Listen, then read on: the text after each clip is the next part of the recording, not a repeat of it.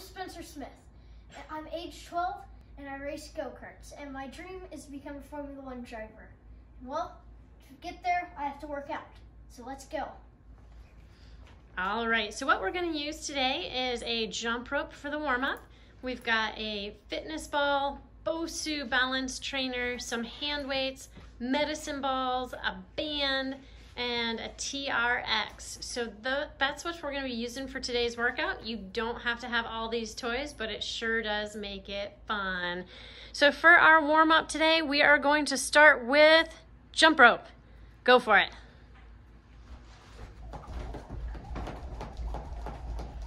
Now some alternatives that you can do, you can go outside and do some sprints. Today it happens to be snowing in Colorado, so we aren't doing this outside. Um, you can also run some stairs if you want to run some stairs in your house or at a stadium, wherever the case is. And what we're doing right now, we're improving our endurance and boosting the stamina to levels needed for a 90 minute Grand Prix. So remember, this is for those future F1 drivers.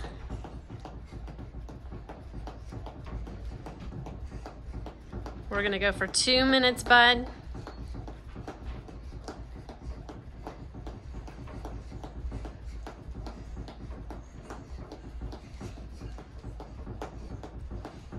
You are one minute in. So a couple other things that you could do if you want. You could jump on one foot. You double unders.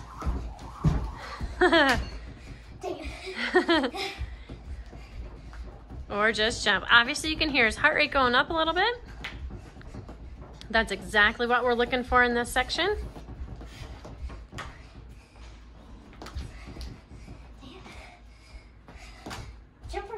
Getting a bit too small for me. You're doing awesome. It's not easy to jump rope on carpet either. No. No, I'm always bad with that jump. ah, you're doing great. Don't take out my house plant, please. Oh, fine. nice. Good.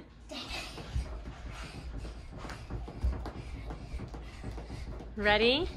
Five, four, three, two, and one. Beautiful. Go ahead and set that jump rope down. The next warm-up activity we're going to do are mountain climbers. We're to do this for one minute, bud. One minute. So hands down on the ground, plank position, and drive those knees in. Here we go. He's got a nice strong core. His hips are tucked under. He's driving those knees in. Wrists, elbows, shoulders all lined up on top of one another to decrease any sort of impact on those joints. This type of exercise centers the driver and prepares them to focus during a training session.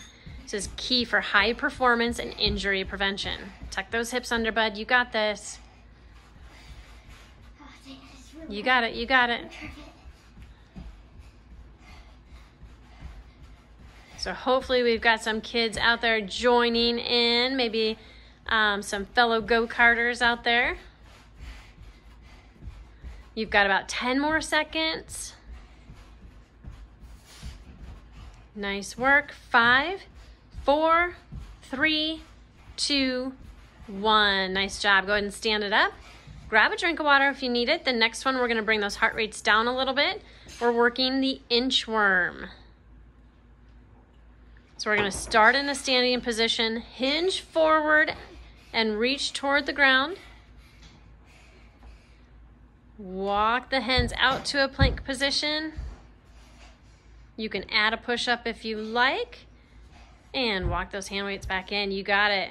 You don't have to add the hand weights on this one if you're starting off a little bit newer.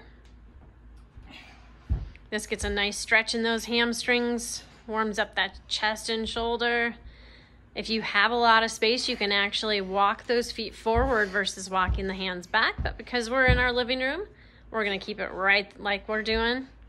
So this type of exercise will center the driver again, prepare him for a training session.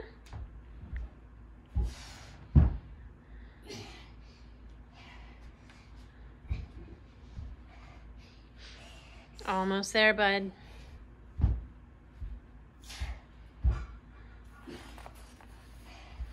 Going to do one more warm up exercise when he gets done with this minute. And then we'll get into the actual strength training. You've got 10 seconds. Five. about speed. Exactly. Three, two, one. Nice work. Finish that one. Yeah. All right. The next warm up exercise is going to be open and close gate. This is really all about hip mobility. In a standing position, he's going to rotate his hip outward and lift the knee up to the waist height and return down and inward. So that would be open the gate. Let's go ahead and do eight on each side. Nice. These are a good way to, if you want, add extra weight to your arms so you can have a better um, trial of balance.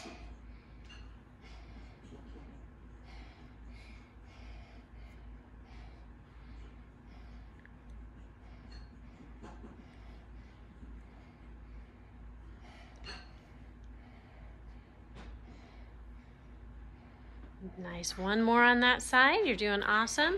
Now we're going to close the gate. So it's opposite direction. You're going to start outward and rotate in. There it is. Two, three, four, five, six,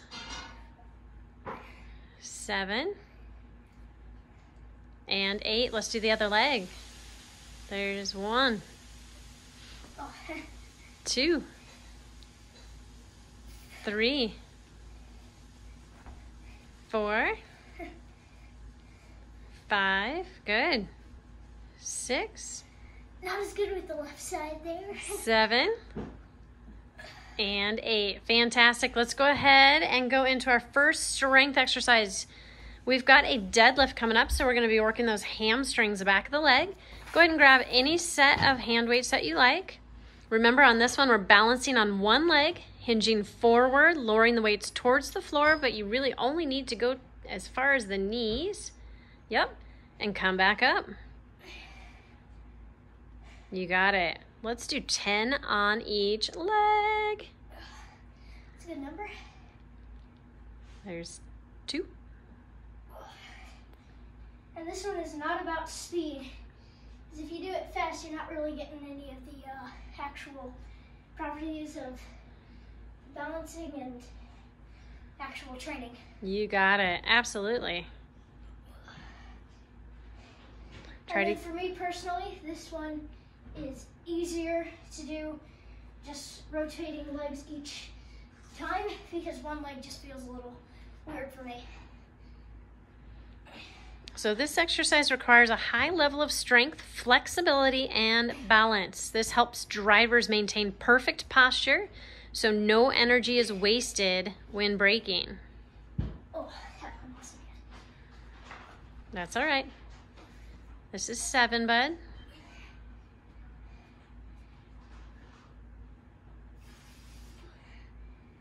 Eight.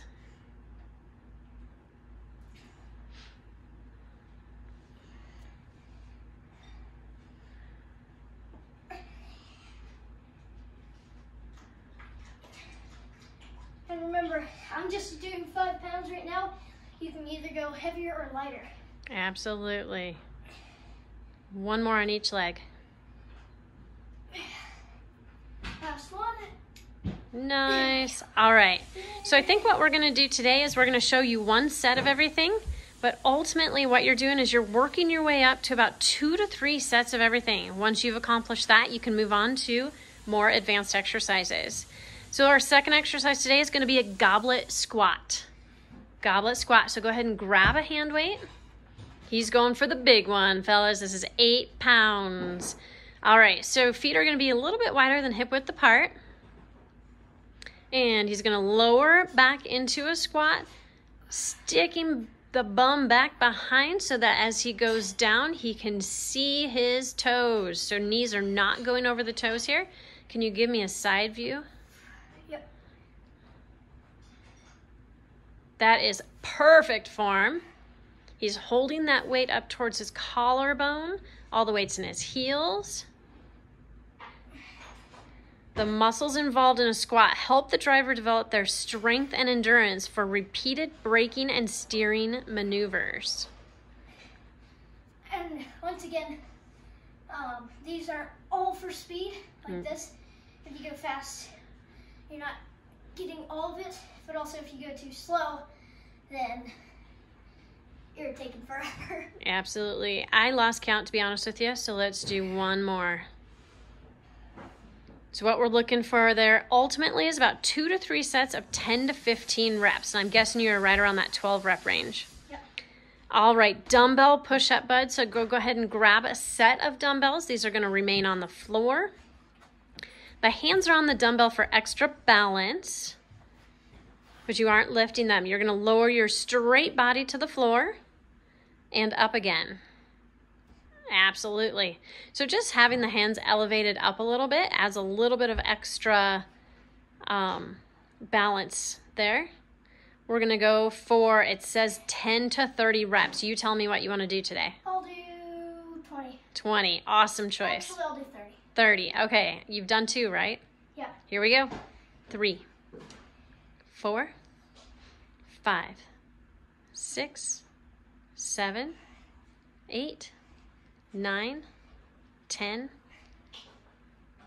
twelve, thirteen, fourteen, fifteen, sixteen, seventeen, eighteen, nineteen, twenty. We've got 10 more. Here we go. 10, 9, 8, seven, six, five, four, three, two, and one. He did it, folks. So, push ups challenge the deep core muscles, which are crucial to stabilize the spine and counteract the G forces. Muscles used in steering and strength are strengthened here. All right.